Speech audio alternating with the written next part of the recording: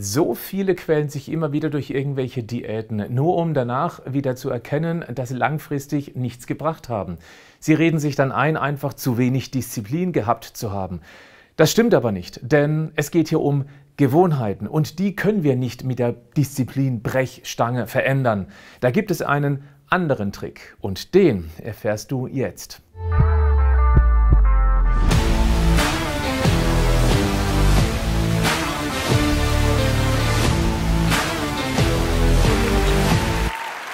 Die meisten Menschen scheitern beim Abnehmen daran, permanent konsequent sein zu müssen und in kurzer Zeit alle gewohnten Lebensmittel in nur gesunde Lebensmittel austauschen zu müssen.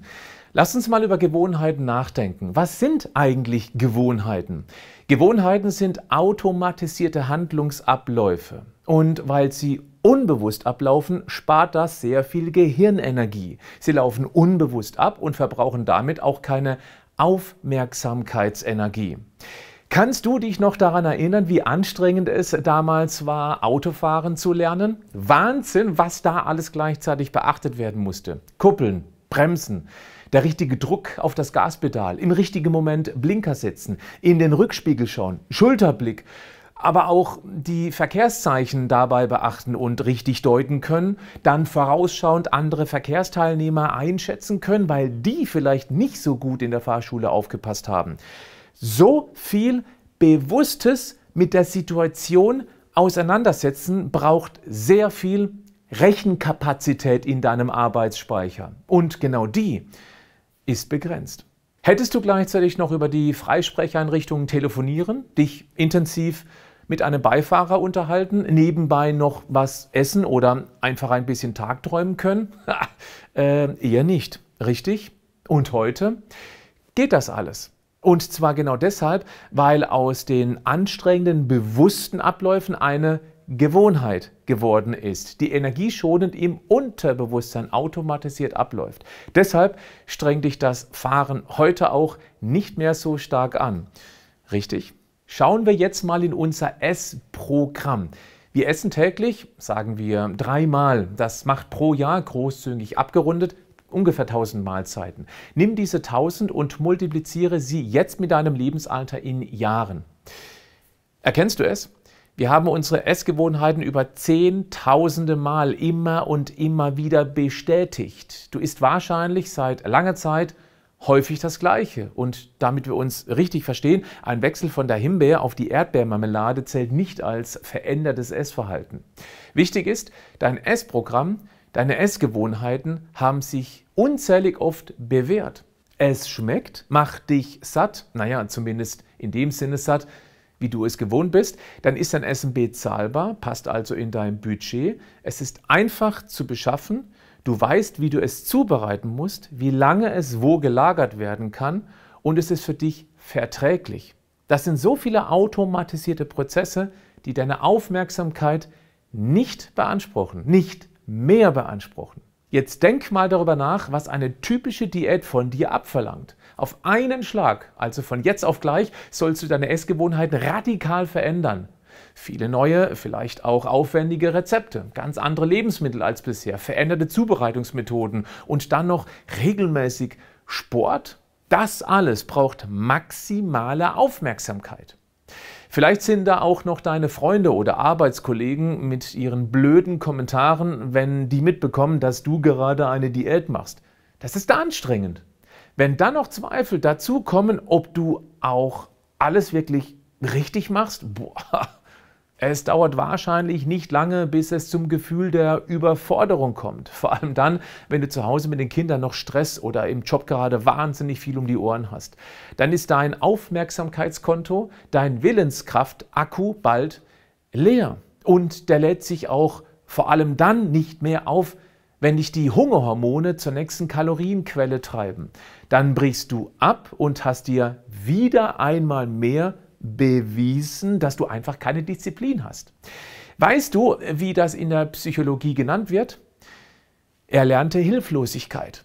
Du wirst immer unfähiger, dir selbst zu vertrauen und dir etwas zuzutrauen. Du wirst hilflos dir selbst gegenüber. Es kommt noch was dazu. Dein innerer Schweinehund, der dir das Umsetzen neuer, gesunder, schlankmachender Gewohnheiten richtig schwer macht. Ja, deshalb wird er auch als Feind bezeichnet. Das ist aber komplett falsch. Er ist kein Feind, er ist dein Freund, weil er es im Prinzip gut mit dir bzw. mit deinen Energieressourcen meint. Seine Aufgabe, er beschützt deinen Aufmerksamkeitsakku und verlässt sich auf die bewährten Gewohnheiten, sabotiert deshalb in schwachen Momenten dein Vorhaben daran etwas verändern zu wollen, weil genau das dann deine Energie schont, deine Aufmerksamkeitsenergie die wird von ihm beschützt, sinnvoll in deine täglichen Herausforderungen investiert.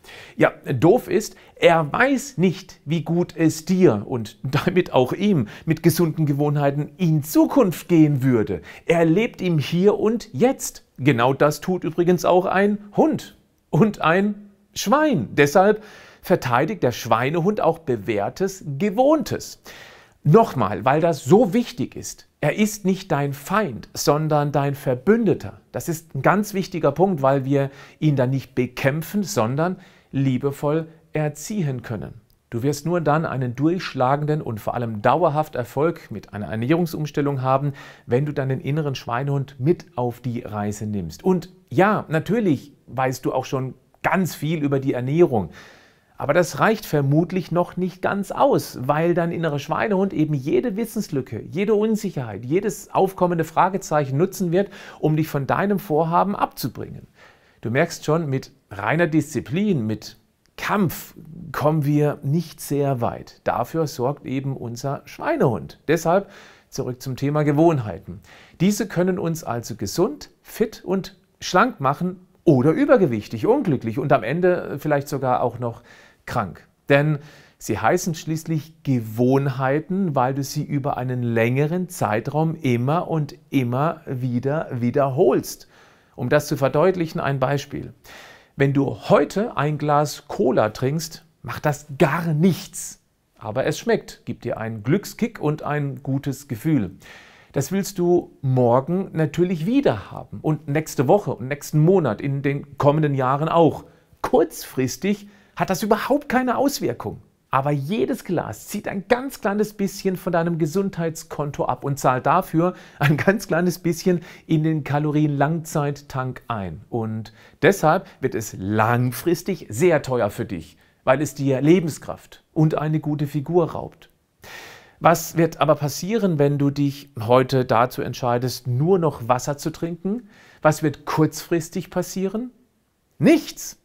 Und morgen auch nichts. Blöd ist, Wasser bastelt dir, anders als Cola, kein Synapsenfasching. Da tanzen die Glückshormone kein Lambada im grauen Matsch. Jetzt brauchst du den Weitblick, also Geduld, um dann dran zu bleiben. Was, wenn du das eine Woche, einen Monat, wenn du das mehrere Jahre machst? Du ahnst nicht, was das für deine Lebensqualität bedeuten wird. Und natürlich auch für deine Figur. Wichtig ist, alle schlechten Gewohnheiten haben kurzfristig keine negativen Auswirkungen.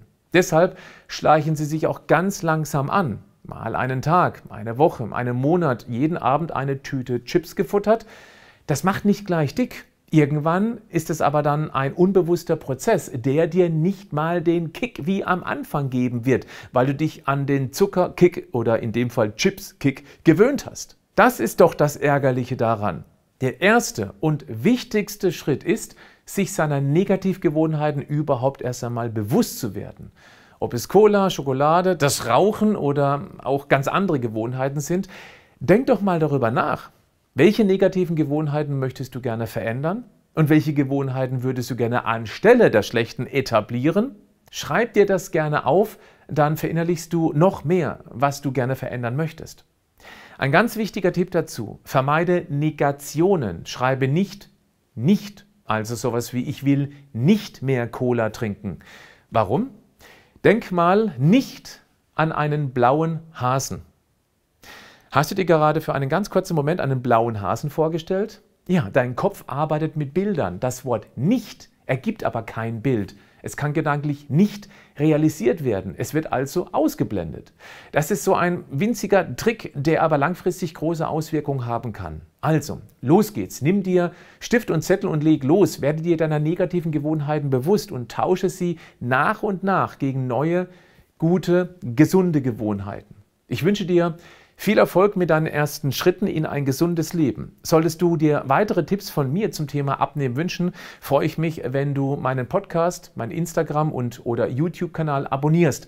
Falls du das Gesundheitsthema ganz ernsthaft anpacken möchtest, schau dir mal meinen kostenlosen Online-Vortrag an, in dem ich dir drei Tipps zeige, die alles verändern können. Ich verlinke ihn dir hier in die Beschreibung unter diesem Video. Bleib gesund, aber mach auch was dafür.